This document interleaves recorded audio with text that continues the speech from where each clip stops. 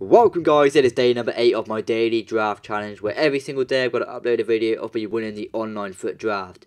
Now, one of my other episodes, someone did say that I always say guys when I do my commentaries, and uh, that's exactly right. Whenever I listen back to my commentaries, it seems like every other line I'm saying guys at the end of it. I'm not sure why, because I never say it to, to, any of my mates or anything. I never really say guys, but whenever I'm doing a commentary, it just seems to come out. So bear with me when I do that, and hopefully I will end up stopping. So, moving on to this squad here, we're going for the 4-2-3-1 version 2 formation. We're just stuck inform Ronaldo up top. We're going to do some damage with this squad here. Nothing too special, it's so Liga BBVA, but using inform Ronaldo to our advantage. So, this was the first team we come up against there. 92 chemistry, got a Aubameyang up top, but nothing too special there. So this game was very laggy. So when you're playing in a laggy game like this, you really want to take the lead as early as you can. And we end up doing that around the 44th minute. But the reason you want to take the lead is because when it's a laggy game, there's a good chance the connection will drop. And that's exactly what happened there. So if you've got the lead, you can then just walk away with the win and move on to the next round. So, luckily, that's exactly what happened to me there. We walk away with a 1-0 victory just after he disconnected at half time, which is exactly what we were looking for. So now we move on to our second match here, who did have Messi up top, but Messi doesn't really worry me on this game. He's definitely better on this FIFA compared to other FIFAs, but he's still not you know that good of a player. So, in this game, we're going to be doing the sweaty goals if we can, guys. I just really want to make sure I win these matches, and if that means doing a sweaty goal, then that's exactly what I'm going to do. We also make it 2-0 with a dodgy rebound there, but it's always nice to get the 2 goal advantage. It just gives you a bit of comfort. However, my opponent was right back at my end. He actually nutmegs my keeper from there, which is really frustrating for me. I really don't expect my keeper to be getting nutmegged in that angle. After that, he also makes it 2 all after hitting the post and getting the rebound shot. A very soft shot as well, right at the keeper. Once again, my keeper let me down there, and my opponent's right back in this game at 2 all. However, luckily here, we end up scoring a goal, a very scrappy one at that, but it doesn't matter. Toni Kroos's name is once again on the score sheet in this 3-2 lead here. However, I bring my keeper out and that never seems to go well for me. It seems like every time I bring my keeper out, I end up getting punished for it and my opponent's right back in this game at 3 all. So we're now on to extra time here, but I get very lucky. We hit the shot, it's an amazing clearance off the line, but it went straight back to me, and we end up making this game 4-3. And luckily for us, we're not going to stop here. We end up picking up the ball with the inform Ronaldo. And he spots that gap, he unleashes a shot. We make it 5-3, which is just enough to walk away with the win. And we can now eventually move on to the next round.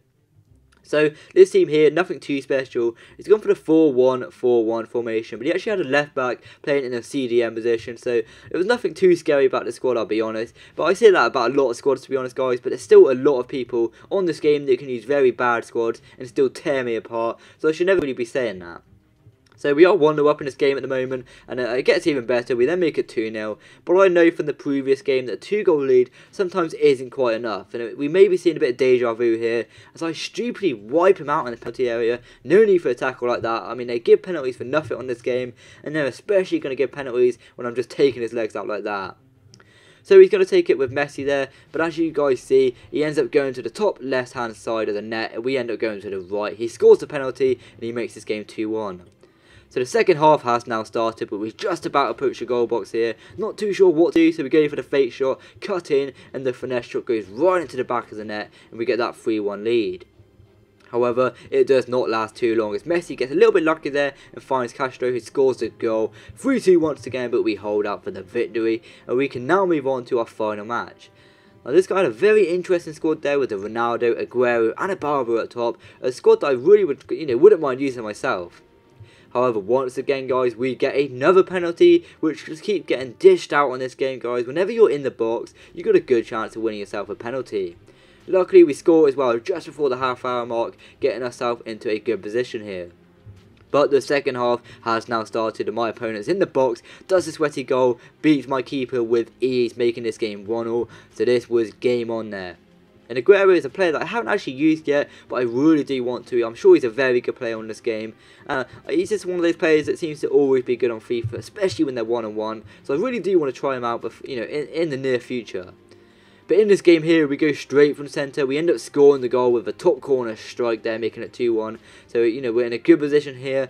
But once again, my opponent's right at my end, and there was a lot of end-to-end match, you know, a lot of end-to-end football here, and uh, it was just a very tense game. And there's another penalty being given. I really didn't want to take him out, and I thought that might happen, but uh, you know, what can you do on this game? Sometimes it just seems to be that the referee just wants to dish out a lot of penalties.